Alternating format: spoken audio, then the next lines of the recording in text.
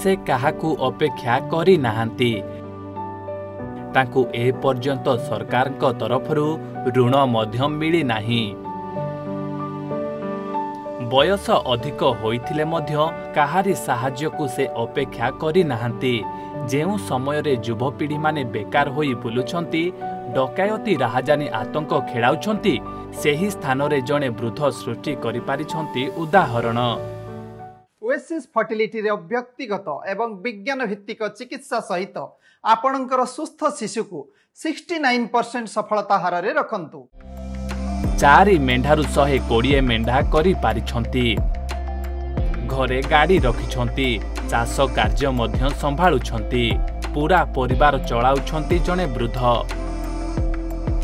ହଁ ଆଜ୍ଞା ସେ ହାର ମାନିନାହାନ୍ତି କରି ଚାଲିଛନ୍ତି କଠିନ ପରିଶ୍ରମ ଯେଉଁ ବୟସରେ ଖାଇ ପିଇ ଘରେ ଆରାମ କରିବା କଥା ସେହି ସମୟରେ ମେଣ୍ଢା ଚାଷ କରି ପରିବାର ପ୍ରତିପୋଷଣ କରୁଛନ୍ତି। ଏଥିରେ ତାଙ୍କ ନାତୁଣୀ ଦେଉଛନ୍ତି ତାଙ୍କର ସାଥ। ଏମିତି ଏକ ଖବର ଦେଖିବାକୁ ମିଳିଛି କେନ୍ଦ୍ରାପଡ଼ା ଜିଲ୍ଲା ପଟାମୁଣ୍ଡାଇ ବ୍ଲକ ବଳଭଦ୍ରପୁର ପଞ୍ଚାୟତର ବାଲିପାଟଣା ଗ୍ରାମରେ। ଟିକେ ଏହି ଦୃଶ୍ୟକୁ ଦେଖୁନାହାନ୍ତି ଶହେରୁ ଅଧିକ ମେଣ୍ଢା ପାଳିଛନ୍ତି। ଖାଲି ମେଣ୍ଢା ନୁହେଁ ଘରେ ଗାଈ ଏବଂ ପନିପରିବା ଚାଷ ମଧ୍ୟ କରିଛନ୍ତି।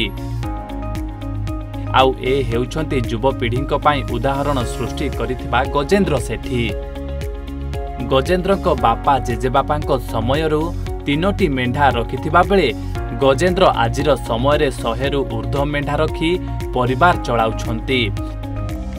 କେବଳ ସେତିକି ନୁହେଁ ଗଜେନ୍ଦ୍ର ମେଣ୍ଢା ରଖିବା ସହ ଆଠଟି ଗାଈ ନିଜ ବାଡ଼ିରେ ବିଭିନ୍ନ ପ୍ରକାରର ଗଛ ଯେମିତିକି ଆମ୍ବ ଗଛ ପିଜୁଳି ଗଛ ନଡ଼ିଆ କରମଙ୍ଗା ଲେମ୍ବୁ ଅମୃତଭଣ୍ଡା ଗଛ ଭଳି ଫଳ ବିକ୍ରି କରୁଛନ୍ତି ଗଜେନ୍ଦ୍ର। ସେ ଆହୁରି ମଧ୍ୟ କହିଛନ୍ତି କି ଏବେ ସରକାରଙ୍କ ପକ୍ଷରୁ ବହୁତ ଯୋଜନା କରୁଛନ୍ତି।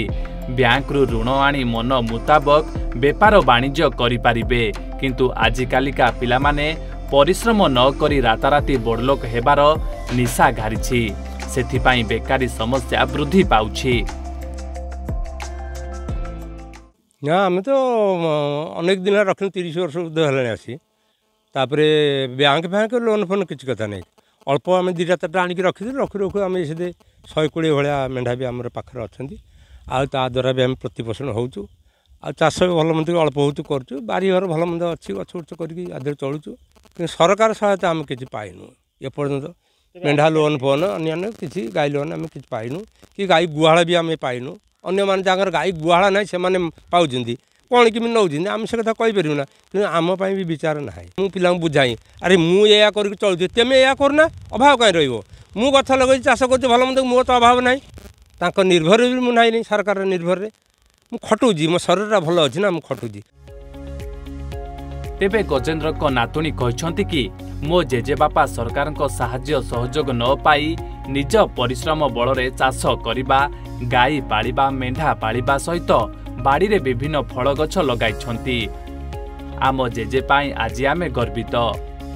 କୌଣସି କାମଧନ୍ଦା ନ କରି ବୁଲୁଥିବା ଯୁବପିଢ଼ିମାନେ ଯଦି ନିଜ ନିଜର ବାଡ଼ି ବିଲରେ ଫସଲ କରିବା ସହିତ ବ୍ୟାଙ୍କରୁ ଋଣ ଆଣି କୌଣସି ବେପାର କରନ୍ତେ ନିଜେ ଆତ୍ମନିର୍ଭରଶୀଳ ହେବା ସହିତ ନିଜ ପରିବାରରେ ହସ ଖୁସି ଭରିଯାଆନ୍ତା। ଜେଜ ଛୋଟବେଳୁ ବହୁତ ଖଟିଛନ୍ତି। ତ ସେ ଏଇ ବିଜନେସ୍ରୁ କିଛି ସଞ୍ଚୟ କରି ଆମକୁ ବି ପେଟ ପାଉଣା ଦେଖି ଆମ ଖାଇବା ତ ଆମ ପାଠପଢ଼ା ସବୁ ଯୋଗେଇଛନ୍ତି। ତ କହିବି କି ଏଇଭଳି ଯେଉଁମାନେ ବେକାରୀ ଅଛନ୍ତି ତ ଏଇଭଳି କିଛି ଲୋନ୍ ନେଇ ପରିଶ୍ରମ କରି ସେମାନେ ଭଲରେ ରୁହନ୍ତୁ ପଟାମୁଣ୍ଡାଇରୁ ସୂର୍ଯ୍ୟନାରାୟଣ ଦାସଙ୍କ ରିପୋର୍ଟ ଓଡ଼ିଶା ଭାସ୍କର।